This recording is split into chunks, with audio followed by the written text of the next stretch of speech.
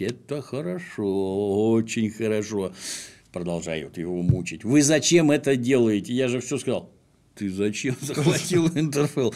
Это мне напоминает нашу гауптвахту и гвардейцев-десантников.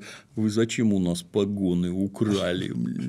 Ну, могли. Мы в авиации украли у них погоны. Я потом еще год подпрыгивал. У меня мой товарищ в Балтийске служил в городе Балтийске, в Балтийском флоте на рембазе. И попали они на гауптвахту. Там сидят гвардейцы, только морская пехота. И говорят, «А вас болезный за что? Говорит, гюйс забыли надеть. Но, говорит, у вас уставщина, а мы БТР угнали. Поехали кататься. Они в кино поехали на БТРе. Правильно. Настоящие солдаты, блин. Вот бравость, как ты понимаешь.